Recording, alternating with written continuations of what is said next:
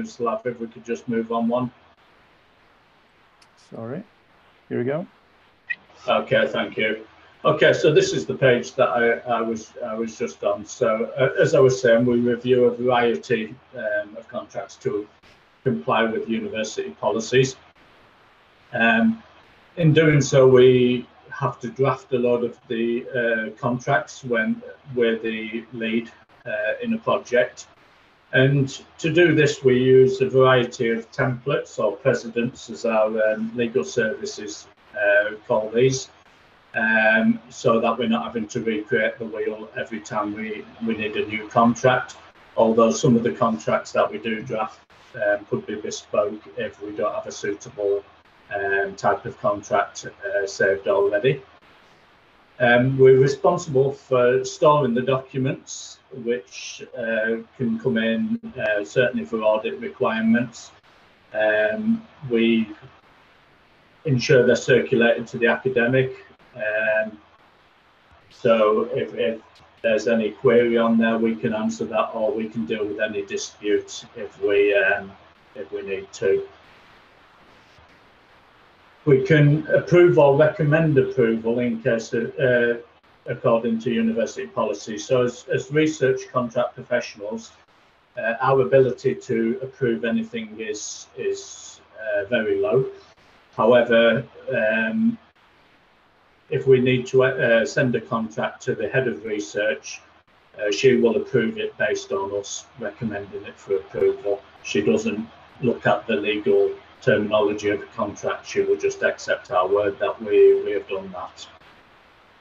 Um, we also negotiate with third parties, um, and this is usually around problematic areas. Um, for example, uh, intellectual property, which we're going to cover a little bit later on, uh, is a common one, uh, with the aim to reach a point of mutual acceptance. And I guess the thing to say there is sometimes if we can't reach a point of acceptance, we will work with the academic uh, member of staff, but we might just have to say we're, we're not in a position to proceed with this project.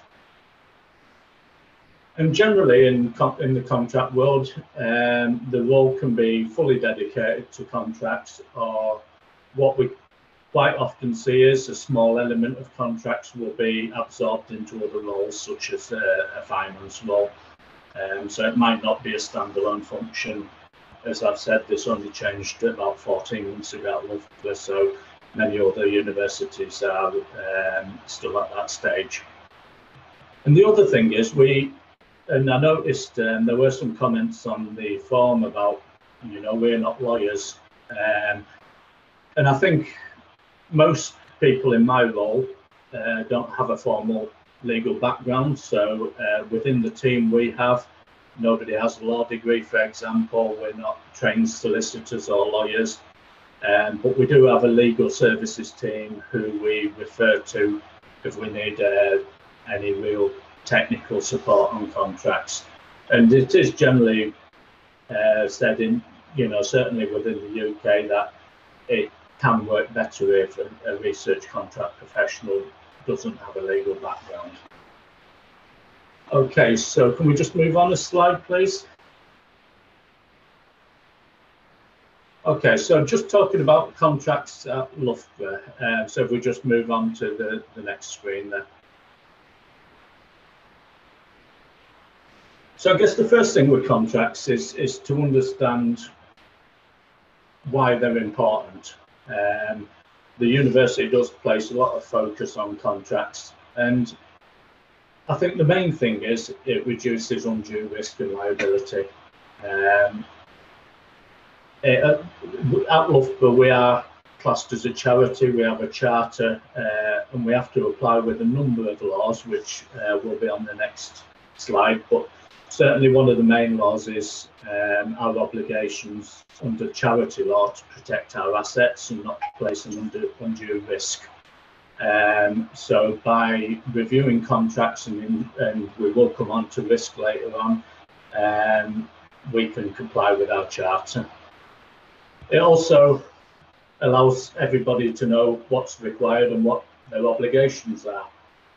Um, put simply. So there is a sort of project management tool that um, that can really help us if we put that detail in some of the project plans and appendices there.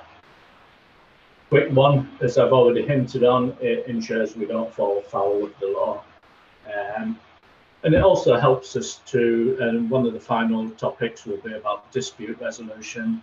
If things go wrong, the contract should allow us to put it correct and, and put it right to the benefit of all parties without going down an expensive legal route. And I guess the final one, which our finance colleagues are particularly keen on, is it ensures we get paid at the end of the day. So can we just move on a slide, please?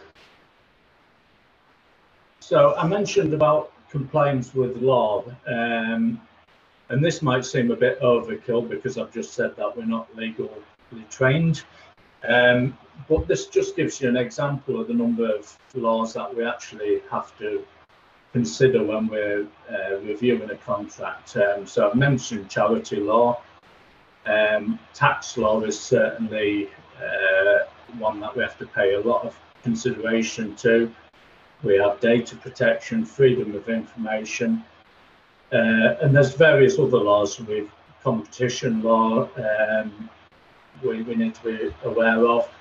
Uh, and one of the main ones we have at the moment, dependent on the nature of the activity, will be around export control. Um, so there's very strict internal procedures at Loughborough to ensure we don't fall foul of those types of law. Um, so that's one we have to pay particular attention to.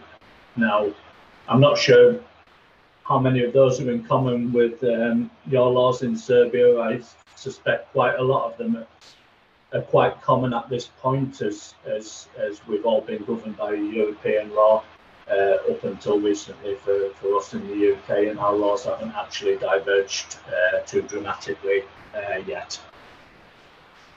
Okay, so next slide please. So I think when dealing with contracts, we we see certain trends that we um, that we we notice. Um, so from from an issue point of view, um, I've mentioned liability, and this is one that occurs in the most um, most contracts we see. So particularly ones with uh, private sector funders, and um, we'll have unlimited liability, or certainly liability that's not proportionate to the value of the project. So to give you an example of that, I've seen one lately where the project value was £8,000 and the required liability on it was £5 million, which is clearly a little bit out of out of sync there. So we will try to negotiate that to a more acceptable uh, position. We also see a lot of contracts where confidential, uh, confidentiality requirements are for really lengthy terms or forever. Um, obviously, that puts an additional burden on the university to ensure they've got those measures in place to, to, to comply with that uh, type of clause. Um, so that's one we always try to negotiate down to, you know, hopefully the five year sort of type of uh, length. We're going to cover a bit about governing law, but governing laws being overseas can be very problematic. Um, so particularly with some of our American funders where we have not only the federal law, but we have state law, which can be very different according to where in the United States we are.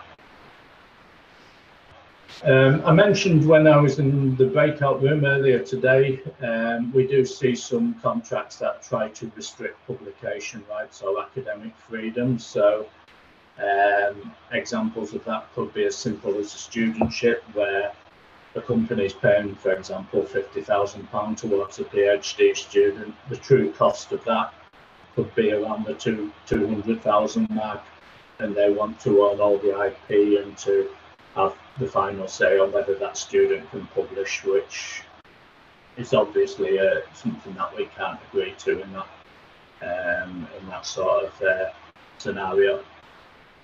Now, I put time frames as well. So Claire's mentioned about the research team where they require the 10 days notice. Um, unfortunately, we we do get a lot of contract requests where something uh, potentially 100 page document needs to be reviewed in 48 hours.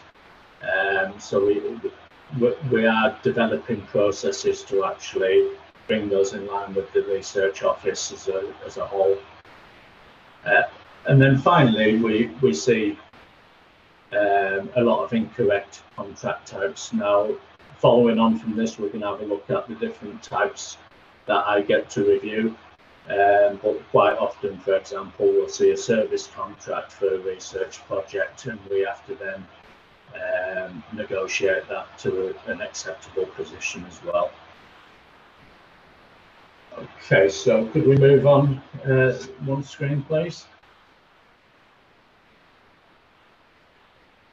So I've touched on this um, briefly. Um, so we were set up in April 2020. So we currently consist of, of two people at my level. There's myself and my colleague uh, Dean within the office. And we have just recruited one further member of staff uh, to work at a slightly lower level. Um, and she'll be starting with us in about three weeks' time. So we'll have a total of three uh, full-time equivalent posts within contracts, and that's to deal with a, around 60 contracts per month um, which we actually receive in. So one of the first things I had to do within my role was to to get a measure of how many contracts are we actually dealing with. There was no numbers uh, to to um, to base any forecasts or estimates on. And as the final thing there is the research support team leaders still will deal with some of the contracts when we are not in a position to be moving them through in a timely fashion. Uh, and we also use temporary staff or locums, as, as, as we call them, that we bring in uh, on short-term contracts. Okay, so next slide, please. So contracts can be a little bit laborious and a little bit boring. So I've put after each section, I've put a question uh, break in there. So does ever, anybody have any questions on, on kind of what I've covered there so far?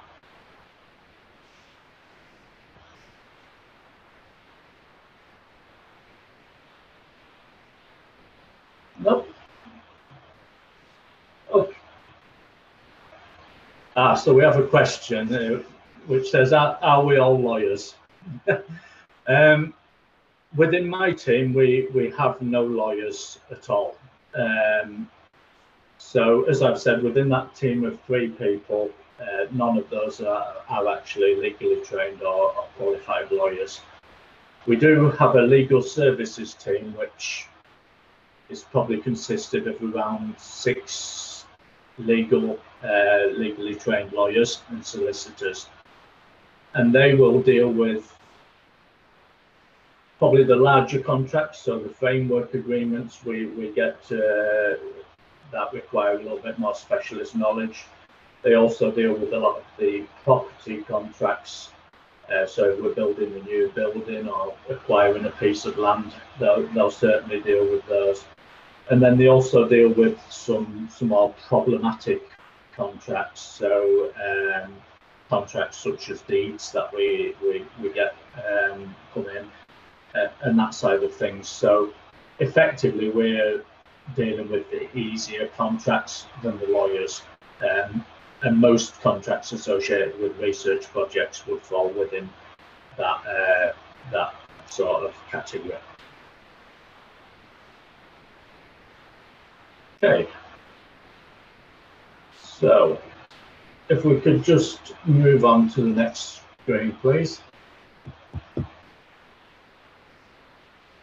So what I thought would be useful would be to to go through the types of contract that we actually receive, um, because I think commonly people think we've got a contract in place. That's that's it. Um, which, as we'll see as we go over the next couple of slides, there might be different contracts that we receive for different parts of the project. So if we could just move on one slide, please. Okay, and I've can I've tried to do this on a, a project timeline almost. So the first phase is, is is is really the initiation phase or the the discussion phase. So we get a number of contracts that um, are either requested or sent to us um, at this stage. The most common one being a, a non-disclosure agreement, NDA as we call them.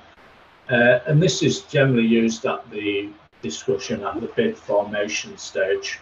Um, so Claire and her colleagues might come to us at this point and say we need to put some uh, agreement in place because especially if confidential information is being exchanged at that point of view, we, we need to specify how it's going to be used, how long it's going to be retained for, um, and exactly what we can use it for. So what I would say about the non-disclosure agreement is it, it is a legally binding um, contract, unlike the memorandum of understanding which is underneath. So effectively, this is a, a statement of intent. So this isn't a legally binding document, um, but it will just set out what the relationship is going to look at um, between look like between the partners. Now, what I would say on this one is we we need some very specific wording um, put into a memorandum of understanding to ensure that it isn't a contract, because we get presented with a lot of these things where if we sign them, we are formally committing uh, to a relationship with that that company. Um, so they're very common when we're dealing with a lot of the uh, universities and companies in Southeast Asia. We see a lot of these type of documents coming, coming through. Uh, if we could just go to the next screen, please.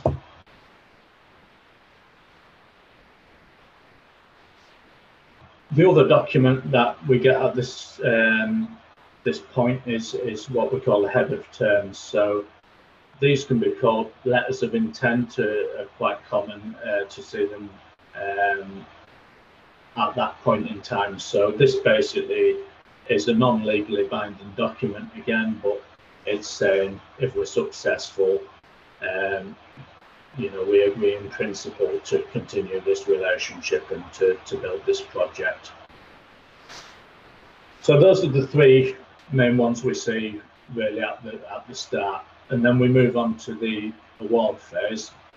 Um, and at this stage, it will be common that we'll see a grant agreement. Um, so I think when this project was successful, that would have gone to GOGA to, to review. Um, and I think generally these set out the terms and conditions of the award.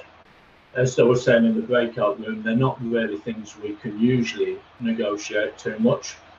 Um, so at Loughborough, for example, we we have an automatic acceptance of certain things that, in an ideal world, would would look a little bit more problematic. So our research council terms and conditions aren't perfect in our eyes, but because we have no negotiation powers and because we uh, have, have a relationship with the funders and it's considered to be stable and, and not problematic, we, we generally just sign those off. Whereas some of the lesser funders, we might have to go back and, and ask for certain things to be included or omitted from, from a grant agreement, which can seem a little bit ungrateful when somebody's funding a project, but again, we have to comply with our laws, and comply with our charters, so we we will negotiate those. And the, at this stage as well, we generally see a collaboration agreement. Um, it could be called a consortium agreement. Um, and this is set out between the different parties that want to cooperate on the uh, on the uh, project.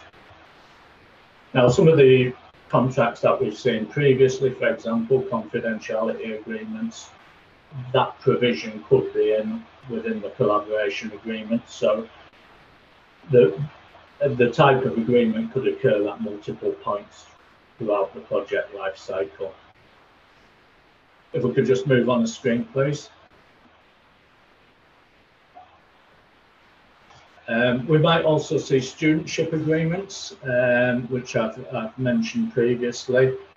Um, this is when externally funded uh, students contribute to a part, uh, to a project, um, and the main thing we we include in those is, is to, to ensure that the student is in the position to comply with the academic regulations, um, and it sets out that relationship with the external company. And then as we move along throughout the throughout the project, we get a couple of different document types that we see. So one would be an accession agreement. So when we add somebody to an existing agreement, um, it's quite a simple document. They have to accept the terms of the original contract, and, and we have to sometimes gain the the acceptance of all parties to ensure that the new party is is acceptable to all. And we might get standalone data sharing agreements as well. So this is once again something that would generally be covered in a collaboration agreement, but academics might find some data from a different company that they can bring in and use to to enhance the project. So we might have to do something bespoke at that at that point in time. Okay, next slide, please. Um, dependent on the nature of the project, we might have material transfer agreements. Um, so this can be anything, human tissue, uh, anything like that, uh, chemicals. Um, so we, we would generally put in uh, an agreement with that company. We also have novation agreements quite commonly. So this would be when the principal investigator, for example, moves to a different organisation, that grant moves with them and then we have to then set up a three-way contract with the new uh, organisation who, and it basically replaces the one that we've got in place uh, there. Subcontracts can be be used, but they are very widely under, uh, misunderstood. So we get asked to put a lot of subcontracts in place where we uh, contract the uh, the external person or company on our standard supplier terms. So generally, we only use subcontracts if we expect the um, the, the company or the person to accept flow down terms. So with some of our government funding, we've got a contract with our government and they need to comply with the terms of it. So we've got specific subcontracts in place. Uh, next slide, please. Um, so just getting towards the end of the contracts we use, um, we used variation agreements and these are probably the most common ones we have. So if certainly we think over the last 14 months, um, just about every project that we have at Loughborough has been impacted by the COVID situation. Deadlines have been pushed back, funding amounts have been changed, deliverables have been changed. So this is what we do when we need to change the terms of the original contract. Um, so they're usually quite simple to do, um, but we do get a lot of them, especially at this point in time. And then the final one we, we, we have is, is, and it falls at the closure stage. So um, sometimes we have to do notices of termination. So um, sometimes parties agree that a project's not going anywhere, it's not worth pursuing, or indeed, as I put there, certainly as money's tight at the moment, um, if the funding streams withdrawn, the project can't continue, so we just terminate that. Okay, so uh, next screen, please. So that was a whistle stop tour, as we call it, a little bit brief, but that's the type of contracts that we, we use. Does anybody have any questions on the different contract types? And I guess, do you, yeah. do you have similar ones in Serbia? Uh, yes, we have, for example, at the university level for the Erasmus Plus, what they ask us is to project like one, one year ahead with the exact uh, activities and exact workload we're going to invest in, in, in our project implementation, person by person. and that changes a lot. So you, you can project, but it's going to change. So when they make the, the, the financial, right, when they um, uh, conduct the payments, then we, we do a variation of agreement all the time, changing the activities, connecting to different person, the workload. So it's, it's, it's usual thing we do because a lot of changes in the year. So you can, you can plan something, but, but it's never going to look like that. Yeah, exactly. And, and what we've we've started to do on some of our contracts, um, and this might not be with our contract with the funder, but where we have collaborators, we've we've tr- we've tried to reduce the amount of paperwork that we have to do. So, um, so if we've got a collaboration agreement with with ten universities, for example, we don't if we're changing the amount we're paying to one of the universities, we don't want to have to have that negotiation with all 10. So we we build in some specific clauses to say that we we can change this without going out to the consortium as a, to a signature of everybody, if that makes sense. So we've tried to reduce that admin burden on us, um, you know, to especially in view of the numbers that, like you say, you you've got them, we've got them in the Loughborough. Um, so yeah, that might that might help if you can actually build that into some of your contracts as well. Yes, so, so, uh, what was the first thing? So we are the faculty and the university is different legal entity. So we make a contract. When we get Erasmus, for example, faculty staff makes a contract with the university and the first type of contract was really in detailed manner as you said so the the amount which is going to be allocated to one person the months which are going to allocate allocated to one person now they just make one contract saying this person is going to work on project an additional annex is going to be provided before the payment when we allocate all the activities to the persons. now now it's easier so they they changed that because like uh, one or two years ago yeah, I think um, it, it's one of the key areas where things can be made more streamlined uh, in contracting. It it sometimes feels like there's a lot of barriers put up in place, and people have a lot of arguments about things. When if we, if we just sit around the table and work out an easy way to do it, it can be uh, beneficial. It, it, can, and, and Loughborough has you as a support. Uh, most of the things we, we deal so we, we provide our project management office with the university, the load allocation and, and calculating and everything, the research staff. So it's, it can be a burden. I love finances, but, but it can be a burden. So Gordana has a question. Sorry, I was taking too long. Very much. Yeah, it's perfectly fine. Uh, I want to ask Adam, uh, have you developed uh, like your own template for those concepts? Do they are they like intellectual property of the model? and, and how you go about it. When somebody approaches you and offers you a contract, do you, uh, how, how do you manage? Uh, matching your template uh, with the partners? Okay, so so we, we, we have a number of templates, and, and those ones are being uh, drafted by our legal services team. So they should be fit for purpose as long as we apply the correct contract to the right uh, activity.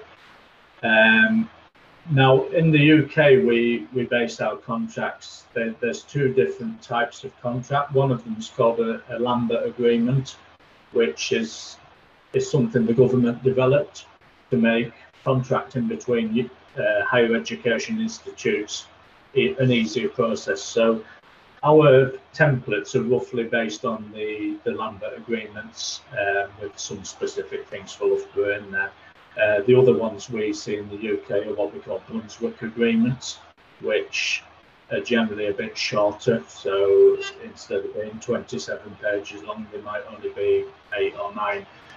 Um, but you, as well as that, like you mentioned, when a, a company says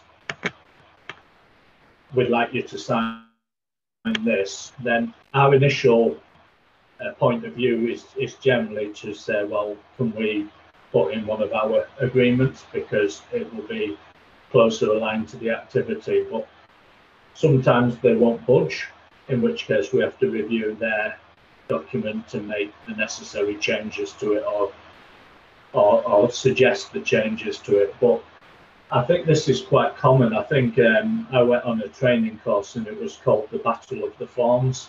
So whether we use our forms or we use your forms, we, we sometimes we can sit and debate it all day, but something we'll give and we'll we'll if we have to review theirs, we'll we'll have an initial look and if it's absolutely not fit for purpose, we will push back. But if it's not far off being what we need, we might just make some amendments to it if, if, if that answers your question, Yoga.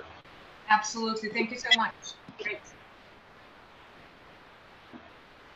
Can I just say something, Adam? Yeah, sure. Um, I just wanted to talk um, very, very briefly about memorandums of understanding. Just because the UK is really different from the rest of the world when it comes to memorandums of understanding. So I, I'm not obviously so familiar with how Serbia a lot of other countries that we work with. For them, a memorandum, memorandum of understanding is a really important document that, that signifies a real intention to work together going forwards. It's a really big deal and it's very important document for many organisations, and it may well be for your organisation. In the UK,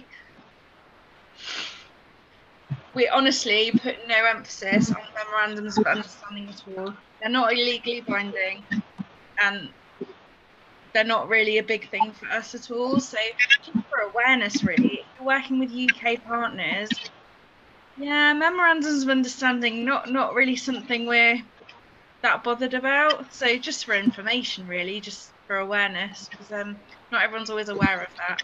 I just thought I'd just throw that in there as well, just so you know, really. Yeah, absolutely, Claire, and I've, I have seen them with old stamps on them and elaborate signatures, and then we just say we can't accept them. so it can be problematic.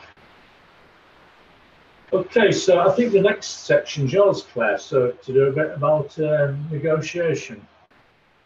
Yeah, can we see that?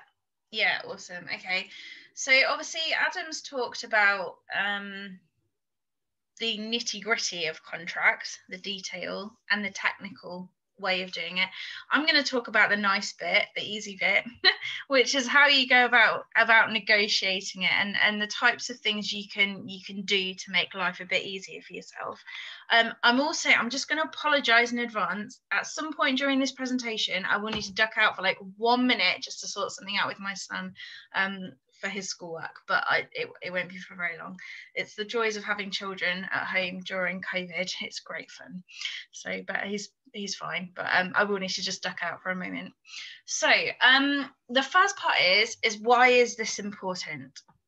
So it comes back to some of what Adam talked about with the contract.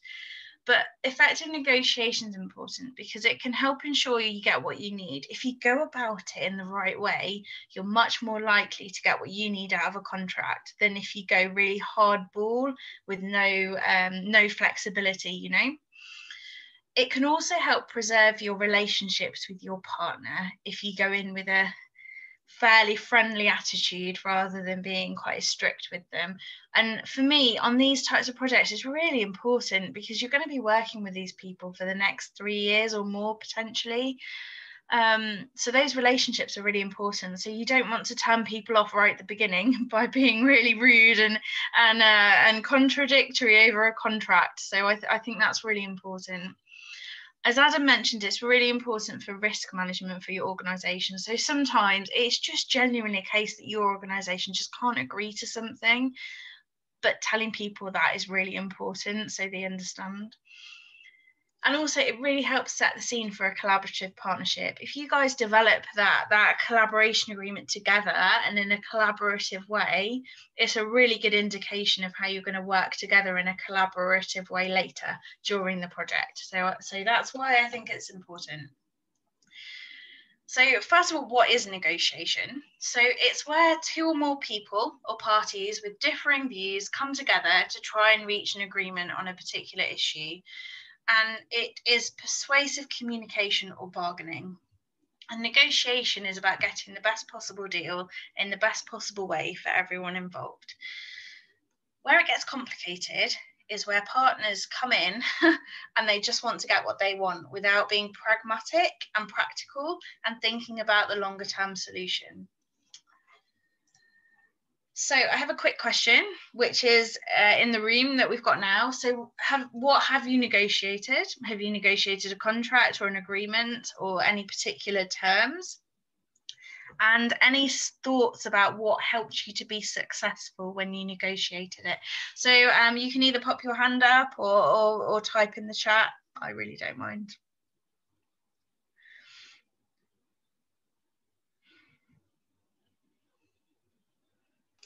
Miroslav has a question. Miroslav, go ahead. Yeah. So, so what what helped me? For example, uh, we developed the application, but we were in the lead, so we were we were looking for a coordinator. And what helped me, to be honest, at the start, how it's going to function. So no no hidden things. Mm. So so honesty, I think it's it's and and in uh, along the way, it's it's really important. Yeah. For everything to, to, to, to so to be honest, it starts. Yeah. Yes, go go. Can I just say, uh, I think that we've uh, we've had the loveliest experience negotiating the the uh, consortium agreement with you and other partners in EXtremeClimTwin, and that was a smooth process, I guess. Uh, uh, and but then uh, on the other hand, I had some negotiations with other Horizon 2020 projects where I witnessed not not so smooth negotiation process. Um, uh, we, we, are uh, academia and it's easier for us but when the companies are uh, uh playing the game then it can get really really tough yeah. Uh, we, we, we, we haven't uh, had such unpleasant experiences so far i mean whatever we wanted to change it was welcomed and changed but i guess it's rough when you play the game with industry partners Absolutely. I, I had one example where um, when I was working at another university, it just got so awful that we ended up just walking away because it, it was just, it just got far too complicated. And they, they were just, yeah, industry, very demanding and had were not willing to negotiate on anything, basically. So we ended up walking away from that agreement. Yeah. Okay, cool. Anyone else want to add anything?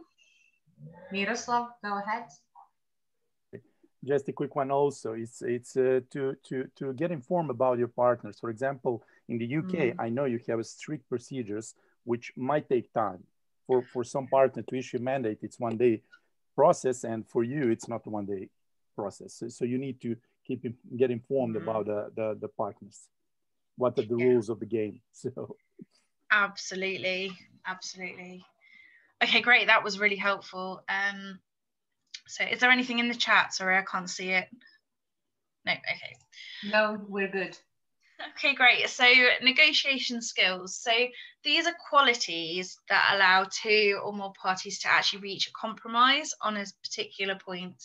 And these are often what we describe as soft skills. So they're not technical skills that you would have. They're kind of more peoply type skills, if that makes sense. um, and they include include abilities such as communication, um, which I feel is very, very important in this situation.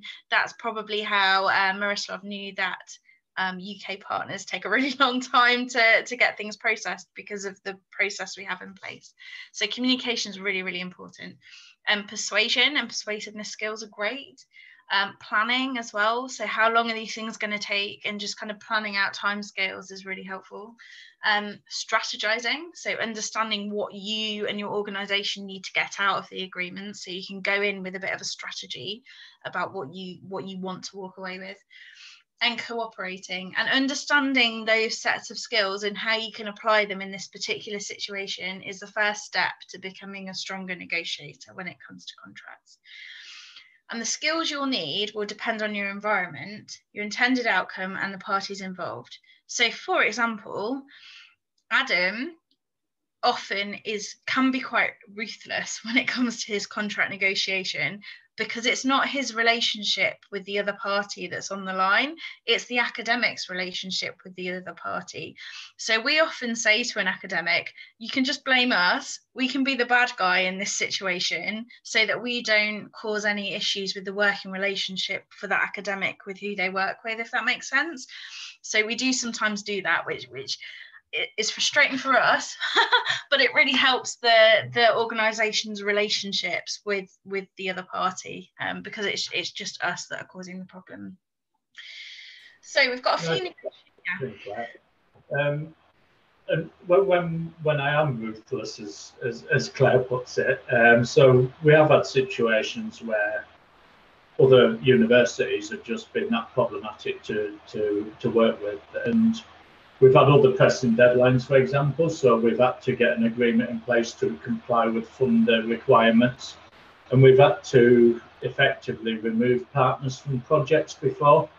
But what I would just add to what Claire was saying is we'd, we'd never take that step without consulting with the academic because it's the academic's pro- project.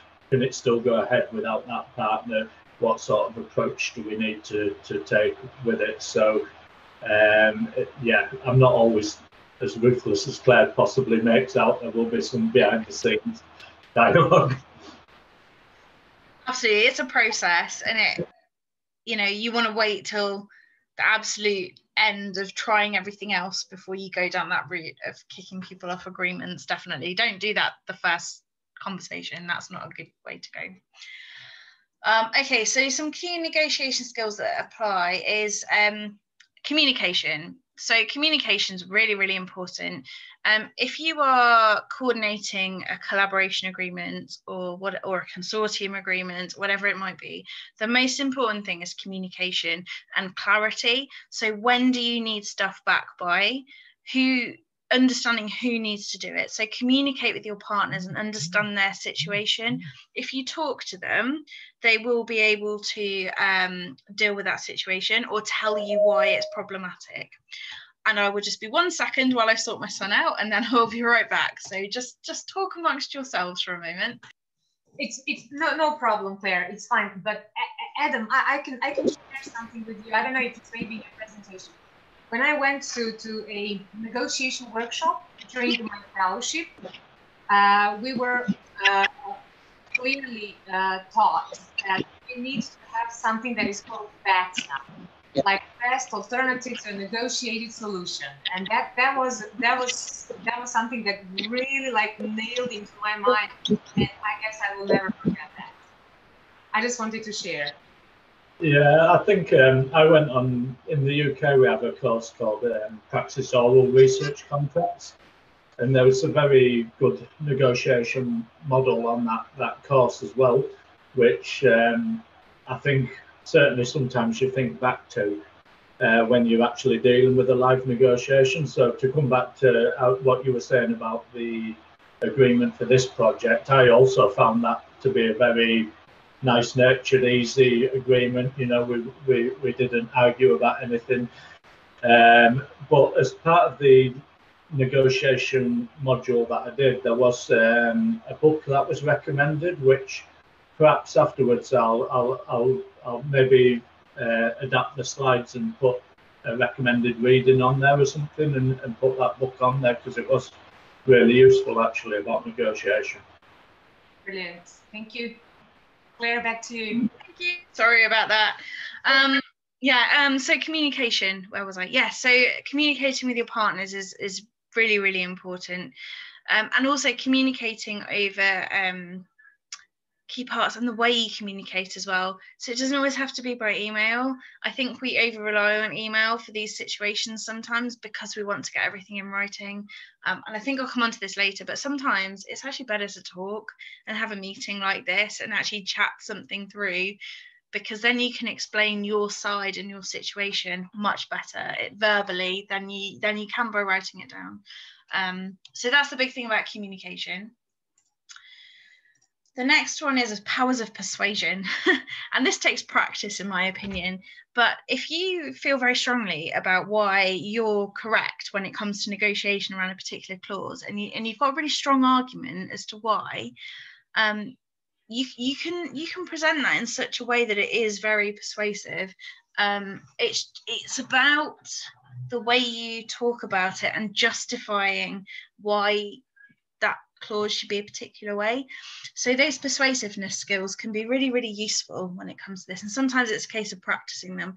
Um, so I always recommend practicing them with your family and your partners and your children and persuading them to do things. Um, and that's a good way to kind of start building up those skills so that you can implement them in work work scenarios as well. Um, planning. So this is comes back to the timescales thing. So I think with EU ones, they're quite strict timescales in terms of getting these things signed off, which can be a bit tricky. So have that plan in your head. So okay, if it's due, if the EU needs this agreement in six weeks, we probably want to aim to have everyone signed it in four weeks. So we've got a bit of contingency there because some universities typically can be quite slow with these things. So we're probably going to want comments back on a first draft within a couple of weeks so that we've got time to process it. So it's just thinking about that when you send it out and, and being, it links back to the communication as well, enabling your partners to plan as well, because then they know when things are due and when your expectations are for them. So, so that's very important as well and strategy as i mentioned before. So you're going in with an aim and a strategy and if you go in with that and you've thought about it beforehand it's much easier for you to put your point across and explain why you need it that supports the persuasiveness aspect which i talked about earlier. It's much easier to do that than going in not really thinking about it and then ending up just agreeing to everything the other party wants because you've not really thought about a strategy as to how you want to go about it so um, it's just spending that time preparing and thinking about that strategy b- before the negotiations even start, really. So that's that one. And then I, I found this really cool picture of a really old telephone because, you know, it's just great old telephones, aren't they, really? Um, it's really important to get what you've agreed in writing because that's how you back yourself up later but but but as i say sometimes just pick up the phone and have that conversation first so you can understand the other party's point of view discuss a potential compromise then confirm it in writing and an email after that conversation. So so that everyone's just on the same page and you, have got it all straight. So that that's a really strong bit of advice for me. And it's hard because we're all really busy and it's a time consuming thing to do. But in terms of preserving your relationship it, it's important i think.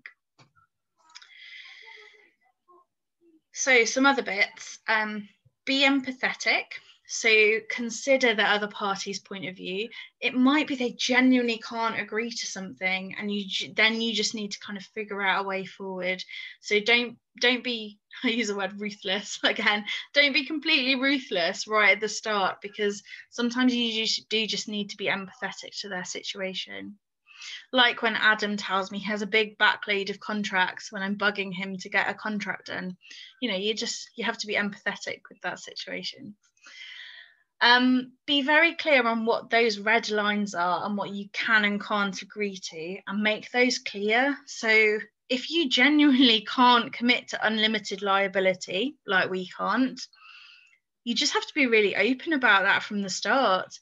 And it's never an option, then you can't ever have it in the contract. So, it, it's just being very clear what you can and can't do within your own boundaries recognize where you are able to make decisions around contracts and where you can't. So some things you'll be able to decide and some things you won't. So uh, I've got an example of that recently. Um, we've we've got a complicated contract with somebody, and um, sorry, just one second. What do you need? Okay. Sorry. Um, yes, we have a complicated contract with another organisation, and a part of the contract research activity, and a part of it's actually them developing some course material for us. So we've actually agreed that instead of it sitting under one contract, we're actually going to do two separate agreements because the work is so, so different that it's much more straightforward to do that. That's a decision I can make. But what I can't do is agree the liability on those because I don't have that, I don't have that responsibility. So I then have to escalate that to the appropriate people. So it's just recognizing what you can and can't make decisions about.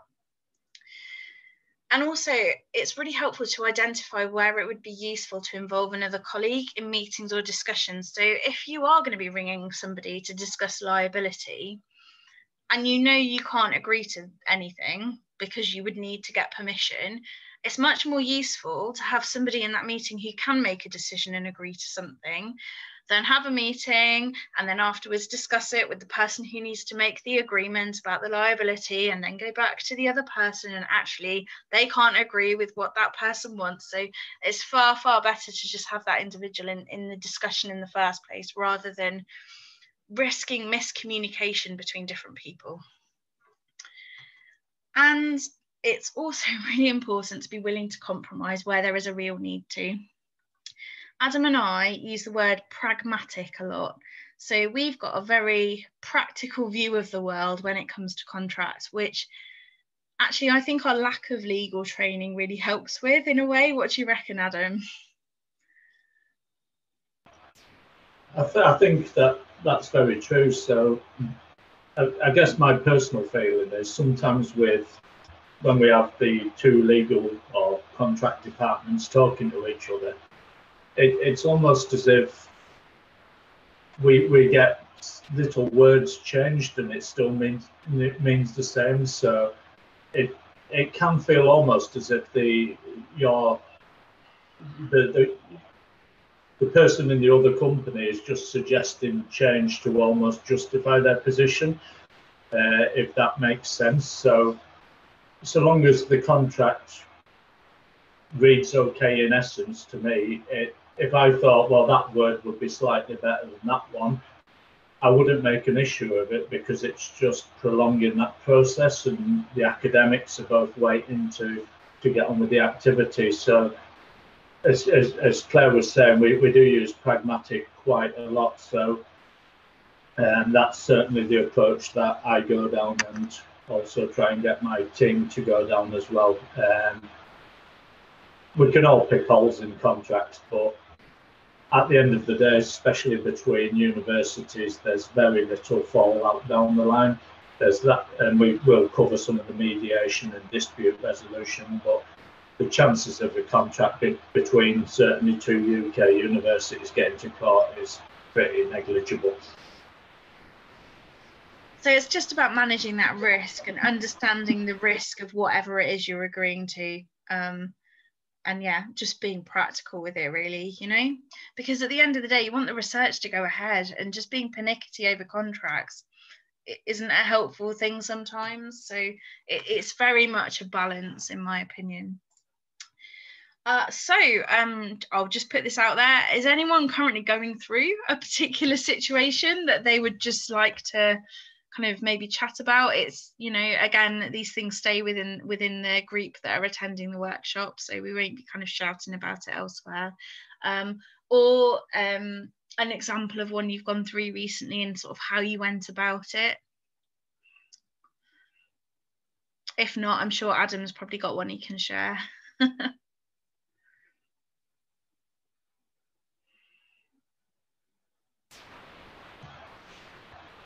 I, I think the only thing I'd really add is is if possible, and uh, so quite often with contracts, we'll use the track change function within Microsoft Word. So I've talked a couple of times about, um, you know, compliance with charity law and that sort of thing. So rather than just striking a clause out and and, and leaving it at that, I would generally put a comment on saying, you know, due to the sector that we work in um, and due to our requirement to comply with these, either the funder terms or the legal terms.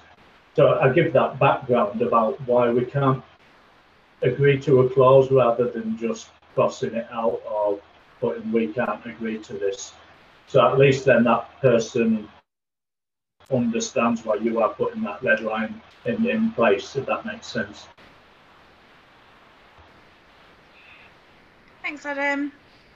Anyone else? Speciality, um, I guess. So I just thought I'd add that.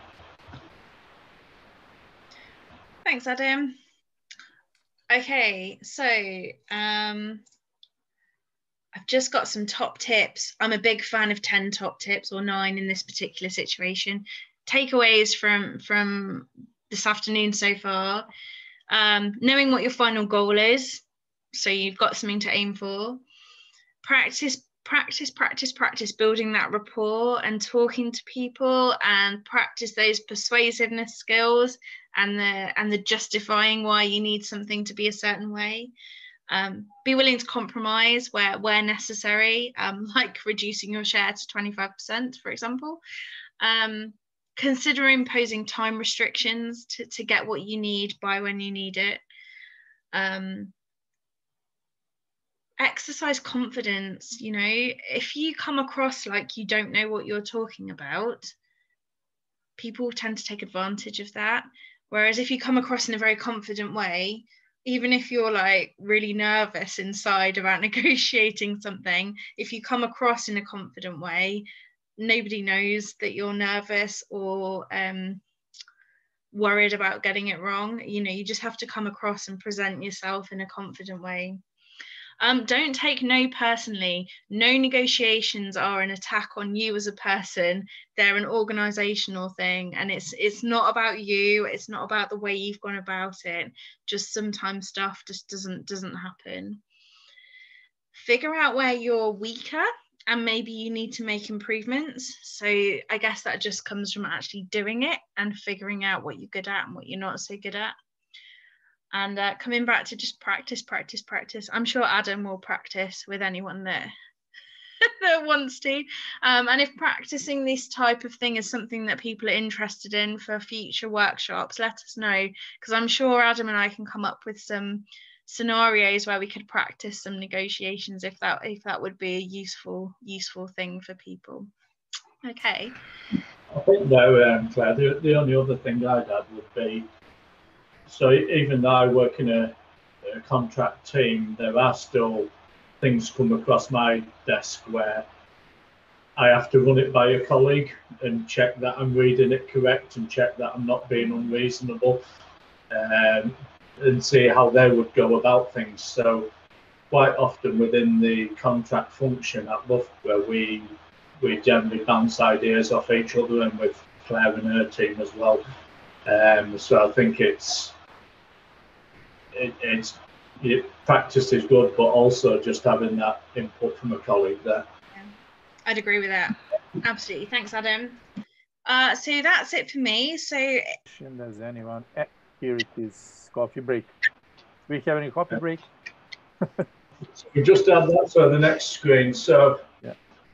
um, as, as, as we said earlier, there were there were a few um, areas on the quiz that people felt were less understood. Um, so I think the three that Claire and I picked out were intellectual property, then there was um, dispute resolution and liability. So um, I apologise that it is late on a Friday and we all have um, a glass of beer or wine planned, but um, if we go through this, so some of it I'll go through fairly briefly um, because I've put some sort of definitions on here, so I don't think it's necessarily a good thing to to read through those in their entirety to, to you, but to try and relate it to how it feeds into contracts. So could you just move to the next screen, please? So as I said, I've just put some definitions on here about what is intellectual property. Um, and this will vary, I guess, for whichever school's working on something. So um, in manufacturing and, and, design, it can look very different to social science, for example.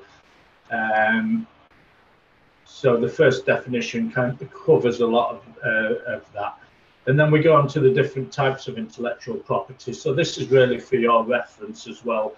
Um, I think there's six different types that we, we cover. And once again, this is something where we would generally refer to our commercialization team for, for advice, but those um, types, just to list them, would be uh, copyright, would be a patent, we then have trademarks, industrial designs, geographic indications, and trade secrets. So Um, if you just go a couple of screens ahead, Mislav, if that's okay. Mitja? Yeah, so next screen after that, yeah. So there are the other um, key ones. So if we just go to the next screen, please. And again, this this is here for your reference. So this this just spells out how how we would um, protect certain types of IP, um, what method of, of, protection we would use. Again, this is something we would refer to the the experts about if it if it came up in real life. Um, so I'll just leave that in there for reference. Um, could you move to the next slide, please? I think this this is possibly a little bit more useful because this goes through the life cycle, but also we can relate some of this to the, the key clauses within the contracts that we see.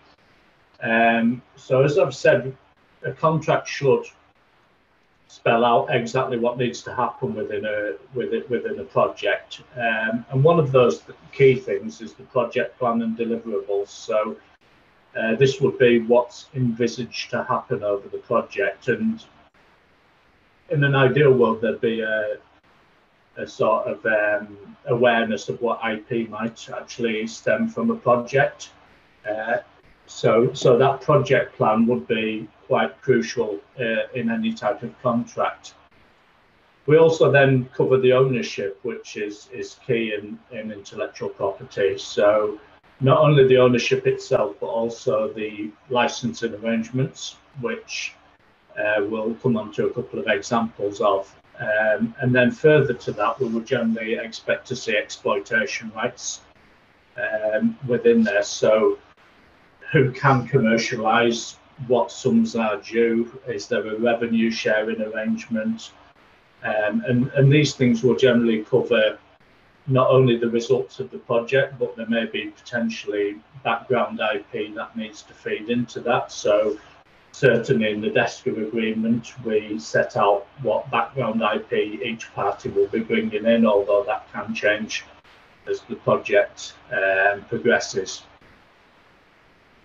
We would also have publication, which would have an impact on IP. So um, as we know, we are here to publish. Um, an ideal contract will generally have review arrangements. So if we're working collaboratively, one party doesn't necessarily forge ahead and publish something that may use the background or foreground IP of one of the different parties. So we generally have a, the arrangements for these things to be reviewed and also notice periods. So um, quite often that will be 30 days or 60 days um, for the other party to review the arrangements and check that they're happy on that.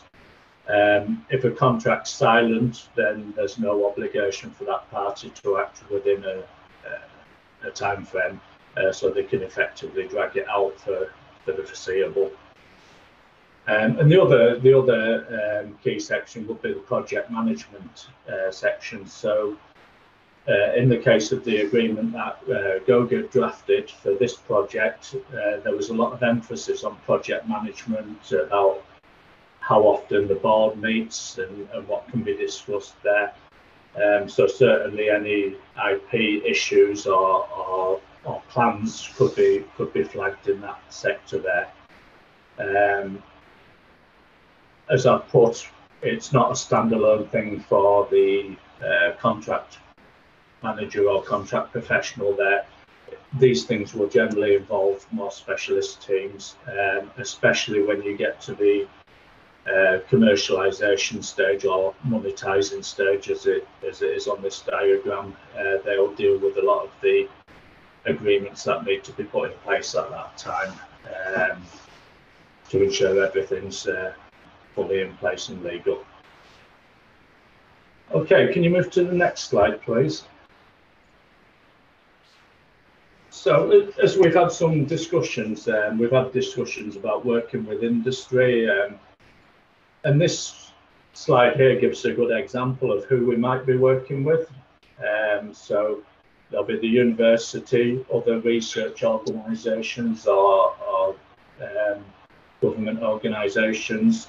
We also then work with small and medium enterprises uh, and, and, with the larger industrial players uh, within a collaboration. So I think the the key thing to understand is everything, everybody here is bringing something to the project. They, they wouldn't be on it otherwise. Um, so they're all adding value to the project, um, but they may have very different mindsets and interests. So, uh, for example, Loughborough is a, a, a, charity governed by charter, but some of the other companies may have shareholder obligations. They may feel uh, they're being more ethical to their shareholders to try to, to own all the intellectual property, for example. Um, so in this case, it's it's it's very useful if a company is being problematic, and this sort of goes back to some of what Claire was saying uh, in the negotiation thing. But if we can set a red line that the funder has got this expectation for how the IP is going to use or be owned, it makes that negotiation very easier. And, and in an ideal world, these terms and conditions would be studied in advance of the bid being submitted, but we do see cases where uh, they haven't been. And I've actually put there some some some of the IP rules um, that the Horizon 2020 program set out um, that actually shows those obligations and, and those are just something to fall back on if we if we get into difficult um, negotiations at the IP stage. Okay, can we go to the next slide, please? So earlier I, I talked about um, licensing. So um, these things should all be set out clearly in an agreement as well, and it should be uh, fairly easy to, to understand. But we break this down into background and foreground. So background IP uh, already being your property uh, as you go into a project. Um, and it's very common to see that this is actually just licensed royalty free for the uh, purpose of completing the project in the same way as foreground is. We have a collaboration agreement and everybody shares ideas, information, um, IP, etc., as part of that project. But then it becomes slightly different when we get to the use of the results.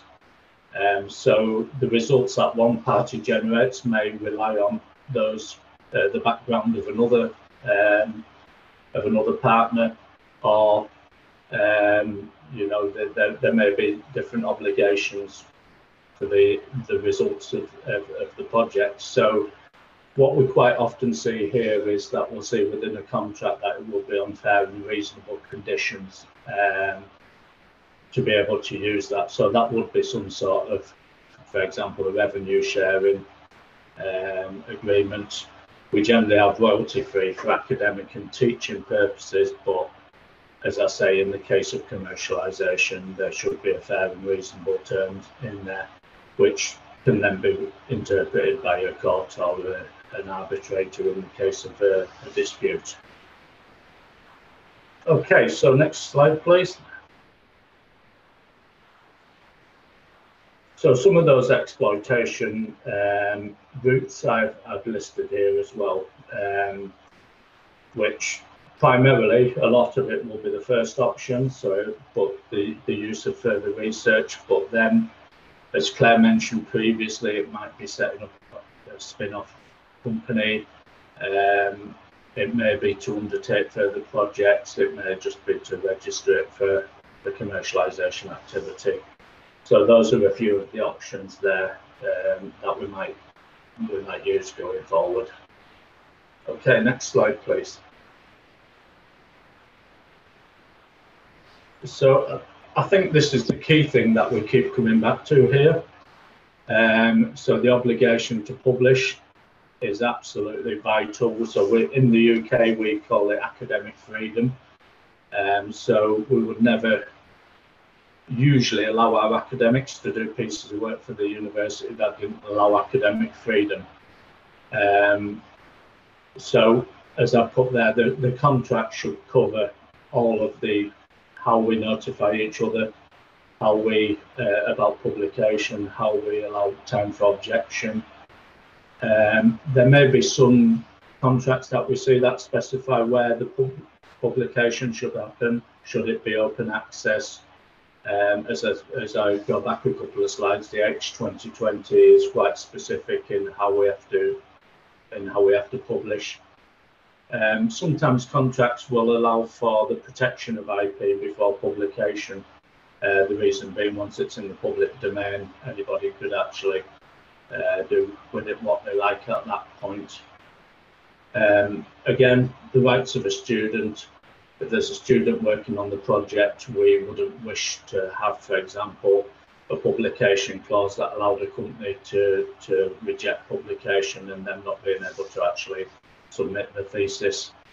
Um, at Loughborough, we do have options in place where if there is sensitive information, we can either remove that or if it's impossible to do so, we, we place it in a restricted access uh, sort of scenario within our, our library.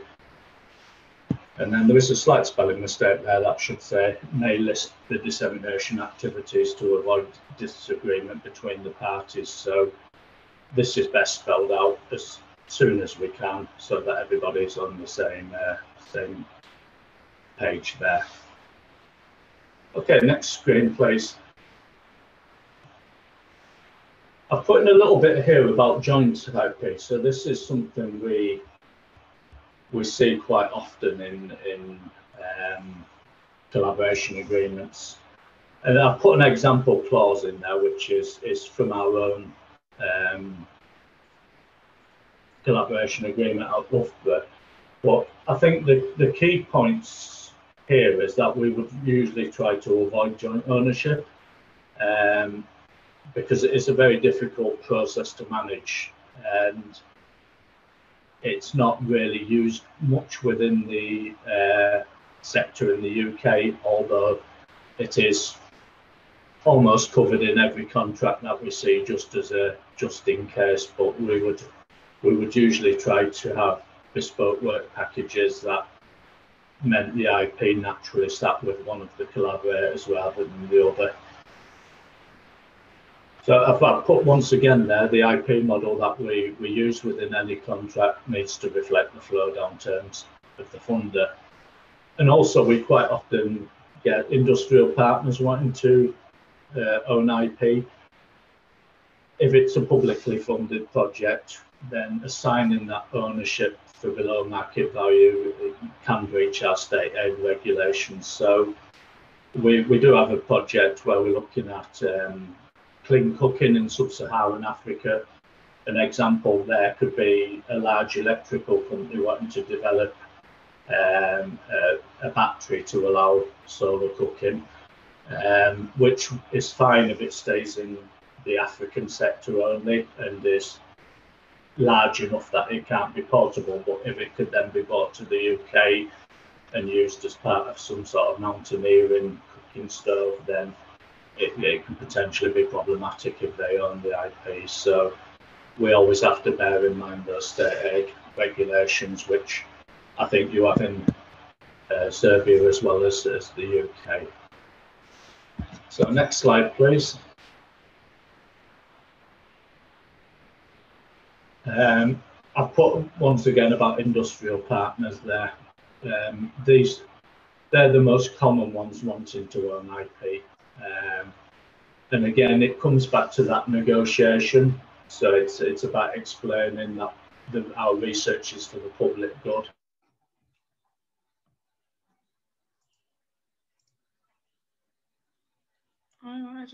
We can't just assign ownership. Uh, sorry if they are insistent on owning the IP, we do have what we call Loughborough University Enterprises Limited. So that's a side of our operation that can use a different costing and pricing model and different approvals.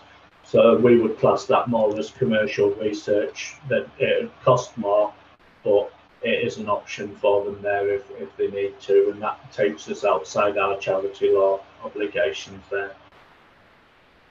And I've, I've put a final point there. Um, and and we've talked already about legal departments and contract professionals having these debates and negotiating for negotiating sake. Sometimes we do see this about in in the sort of commercially exploitable IP section. So particularly with a lot of our social sciences projects, things like that, that are looking at refugee crises, it, it's important to understand that if, is there a likelihood that any of this is going to be commercially exploited? Because if not, why are we arguing about it? Um, so it's about having that pragmatic approach, about speaking to the academic member of staff uh, and working out exactly what's going on on the project and how we need um, to to vary the contract according to that. So next slide, please.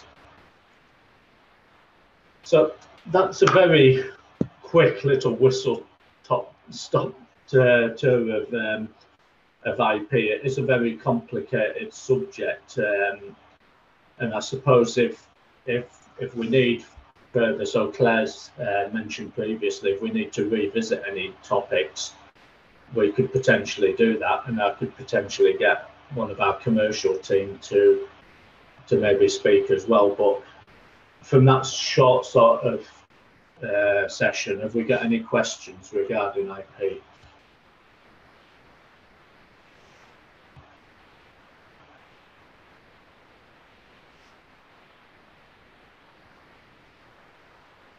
Okay, so I think we're good. So um, wary of the time. If we just move on to the next slide, please.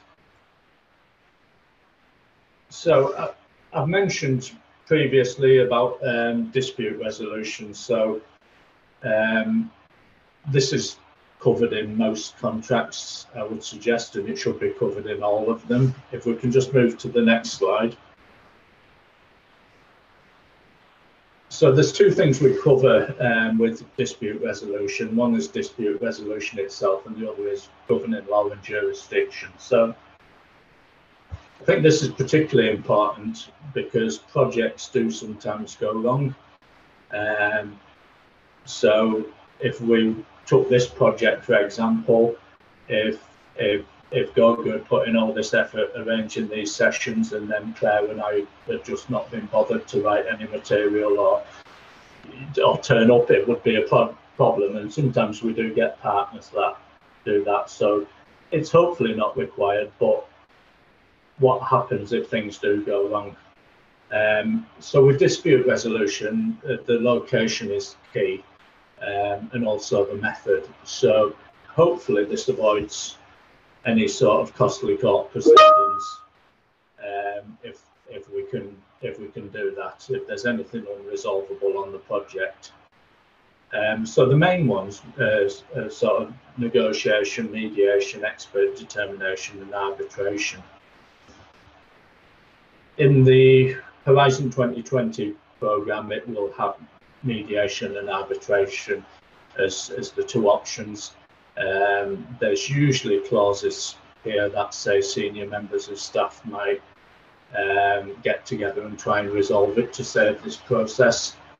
Um, but the main thing is to, to consider those timescales, who's going to have to defend each thing, and, and make sure that once again the mechanism is proportionate to the agreement. So if we were doing a very small project with an American company, would we want to fly senior members of staff over to defend a court case in, in the US, uh, for example, because in that case we may have to hire local legal experts um, because their laws are dramatically different to ours.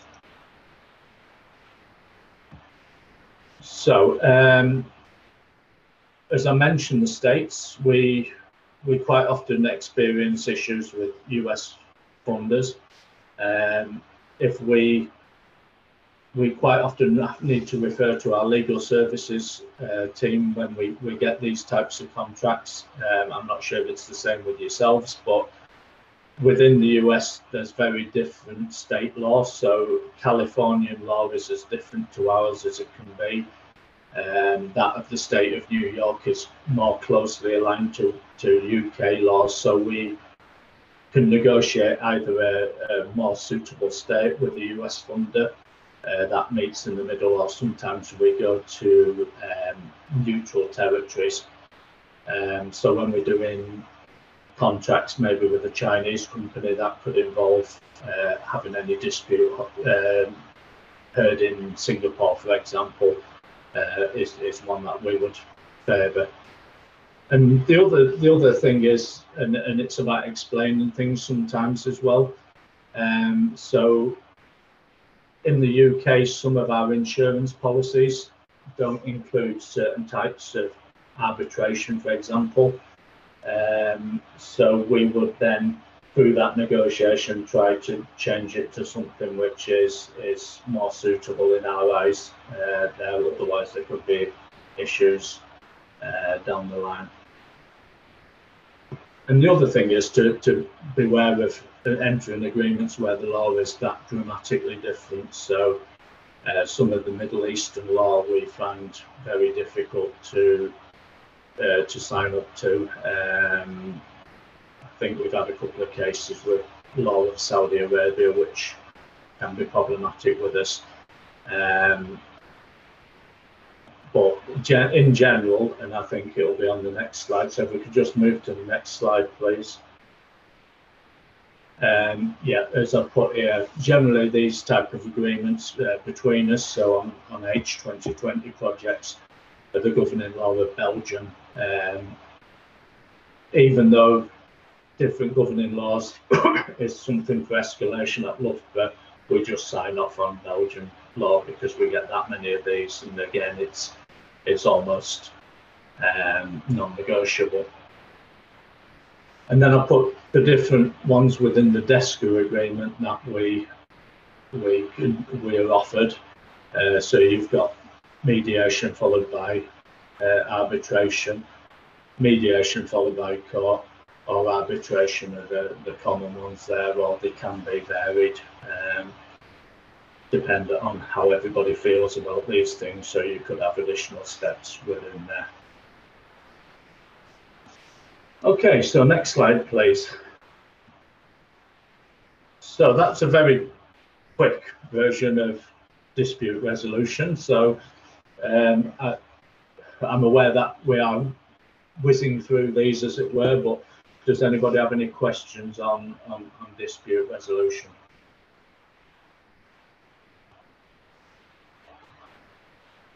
Uh, Adam, have you have you ever had a case of uh, applying the one rules uh, dispute arbitration? I, I, I, simply have no idea what it looks like through the, the um, so, so, sorry, was that, have we ever had a case that we've actually referred to arbitration? Exactly, yeah. Did, did you did you go through the process uh, with Loughborough University before? I, I think we, I, am not aware of any that we've sent to arbitration. I think um, be, because the the insurance element. Um, so there may have been issues with projects, but sometimes if your insurance policy is not going to cover it and it's a low value contract, it, it's kind of easier just to write it off if if if that makes sense. So I know that we we have had situations where things have ended up in court with other universities. Um, but in general, it is it's very rare. So I think the key thing really is to set out a, an informal step. So in the UK, and it might be the, the case in Serbia, but in the UK, it will generally have people will uh, flag these issues with people of a director level, and they'll have 14 or 28 days to resolve this. Um, so we find in general that that step will get rid of the problem in most cases. So um, if somebody's being non-responsive and a director then gets in touch with that academic member of staff, generally things start to move a bit more. So even if we can't resolve it at that point, they'll come up with a plan that it's going to be resolved within a reasonable time frame and there isn't an impact on the funding. So I think to, to answer your question, it, it, it's very few and far between. Um, I think if if I was underperforming and, and the director of, of, uh, of research got in touch with me and said, can you get this one sorted out, then generally I drop everything to do that. yeah. Thank you. Thank you very much. So yeah, it, it's it's all about avoiding, you know, because because we uh, in one of the groups this morning we were talking about contracts and when we're contracting with industrial partners and if we send a contract to an industrial partner, generally it's going to be about three or four thousand euros for their legal team to, to look at it. That's the true cost of involving solicitors and lawyers. So it's we want to avoid that in a big legal case if we can. And there's also the once it gets into the court system, there's is there reputational reputational damage and that sort of thing um, happening as well. So we want to do everything we can just to get around the table and sort it out. Yeah, what we're most afraid of is always this financial pressure and uh, uh, uh, how much it's going to cost the university, or I don't know. It's not only about good research integrity or uh, good good name, but it's also about financial pressure that we are like afraid of. Yeah. I think the, you, the, the, the next section, so the financial liability, um, I think that's a key one as well. So I think that the, the key thing for me is we don't treat dispute resolution purely as a standalone clause. It links into other clauses. So if we can be sued for damage and it's a low value project, then so long as we've got the correct liability in place, then the impact shouldn't be too great. But it's where these these clauses don't line up and, and interact with each other, I think, is the, the key thing there. Okay. Thanks. So can we move on to the next slide, please? So as I mentioned, liability, here we are. Uh, next slide, please. So I think the, there's a definition there. So what is financial liability? And it's basically what we're going to have to pay for somebody else's loss or damages. Um, and the, these things can be astronomical. Um, and they can also be fairly, so nobody gets too too concerned about them. Um, but we generally try to limit in every contract that we we process, we try to limit liability. Um, so there's a couple of ways we can do this. So so one is to exclude liability for certain costs. So in the case of the DESCA agreement, indirect consequential loss, loss of profit, loss of revenue. These are things where people can almost inflate what the true impact is of uh, of a breach. Um, so we would normally uh, all indirect cost we would we would try to exclude anyway, and that is a standard clause within the DESCA agreement. Um, we then see that the DESCA agreement, so it's quite similar to the ones we use in the UK. Um, so I think you've got a couple of options on there. So do we limit the liability to the size of the uh, the award that we're receiving, or twice that award. So the whichever option is generally fairly acceptable to Loughborough uh, in that case. Even if it's double the project value, we would not have a massive issue with that. Uh, obviously, the larger the project, the larger that impact would be. If it's a five million pound project, then we get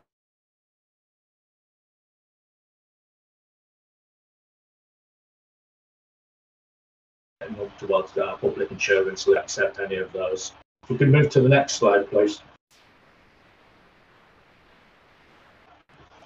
but the, the other thing, and I, I think I mentioned this earlier, is it should be proportionate in all cases. So um, without going into what levels we can and can't sign off at Loughborough, because that is is is is quite confidential, obviously. But if if for example you had a one million pound limit that you could sign off on, would you do that for a five k five thousand pound project? Um, it would clearly be be uh, unproportionate. And the other thing is we find sometimes where we are doing a certain type of contract, so it could be uh, a material transfer agreement or something like that, where there isn't actually money changing hands. So if we look at restricting it to the value of the project, that would be nothing. So we generally put a nominal sum in there.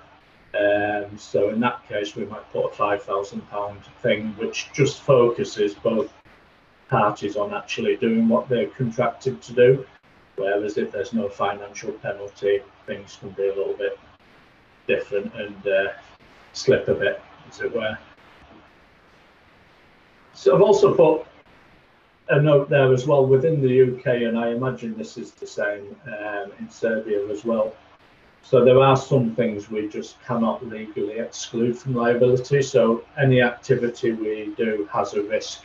Um, if somebody has unfortunately an accident on a project, then we can't actually limit the damages that that individual might receive and that we might be liable for. Um, so there's legal things that we can't exclude from, a, um, from an agreement. And those, that is a fairly typical example that I've put there um, for liability. I've also put in a little bit about indemnity. So uh, when I moved into a contract role, this took me uh, a little while to get my uh, thought process aligned to. Um, so we see a lot of indemnities in, in the contracts we do, which is if um, the other party has costs, then we're effectively agreeing to meet all those costs. Um, and quite often we see these that aren't covered within the overall liability cap. So with the, the a liability uh, clause will say subject to clause whichever um, excludes liability for, for, for death, for example, and except for the indemnity. So we quite often see these carved out of that overall liability cap, which effectively means we have unlimited liability, which is, is problematic. So it's we find it's very if we see the word indemnity, we, we have to look very closely at what we are indemnifying that partner for, whether it's covered by the cap, and then certainly that is something that, that would need escalation um, at Loughborough. Uh, can we move to the next slide, please? Um, I've also put in there a very common one is an indemnity for breach of third party intellectual property rights. So when we do an activity, we, we have that much data we can call on, that much IP. Um, and for a project to, to check through those licenses, to check through the source, to check whether it's been used for a different project, um, can prove very problematic. So we see indemnities for the breach of third party IP rights, we it rings a lot of alarm bells for us, um, and that's just something to be aware of. Uh, again, it's not too bad if it's included in the overall liability cap, but if it's excluded from that, that's something that could actually be a deal breaker for Loughborough um, there, unless we have the correct risk assessment in place. Uh, there's just a little line about warranties as well. We see a lot of these. Um, again, they need to be really limited, uh, covered by caps. And the final thing I've, put in there is quite often we see contracts, uh, grant agreements, um, collaboration agreements where it just doesn't mention a cap on liability. So that effectively means that you know, if there was a problem, it would be looked at under law. And generally, law does not apply a cap on liability. So you once again, the absence of a limit means it is unlimited uh, there. Next slide, please. So that was a bit of a, a quick session about liability. So after we've considered all these things with a contract at Loughborough, we get to a point where can we sign it or can we not? Um, so it's the approve or decline stage. So next slide, please.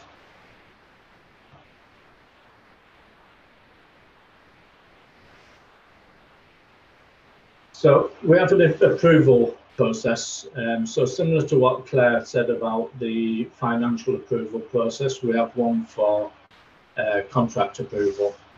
So this effectively ensures that contracts are signed off by the correct signatory. Um, and it also gives myself and my colleagues as much freedom as possible. So we we have a very detailed um, escalation.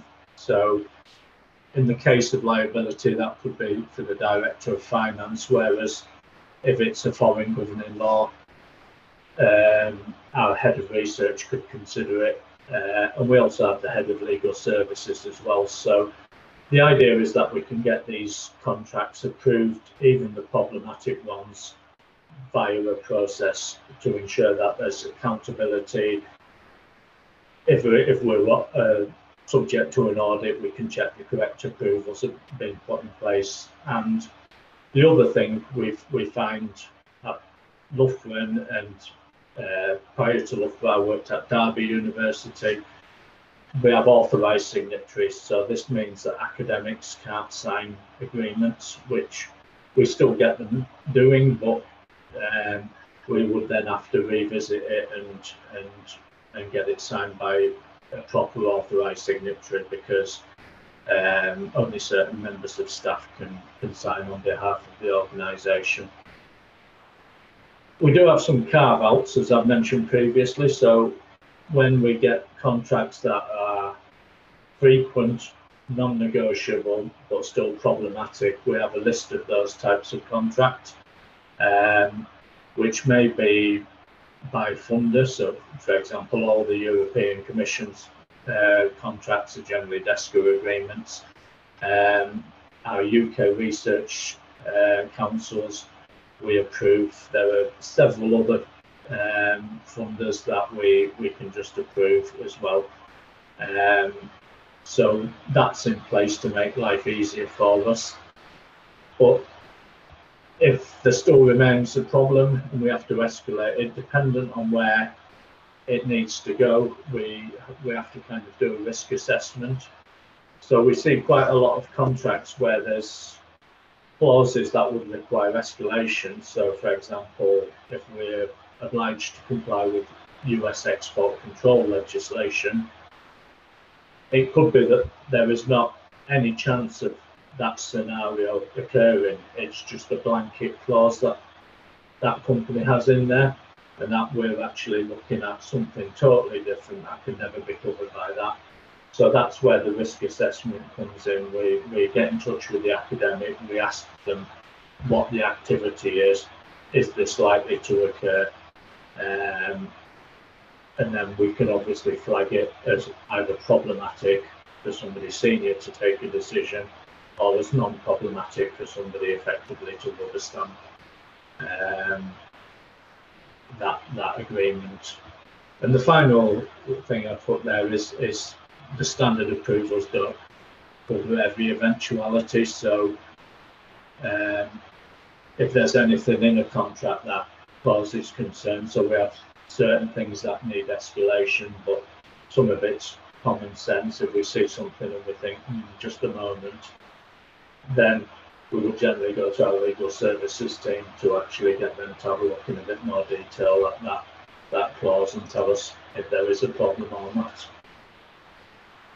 Okay, so moving on to my final slide. I think whilst contracts is a bit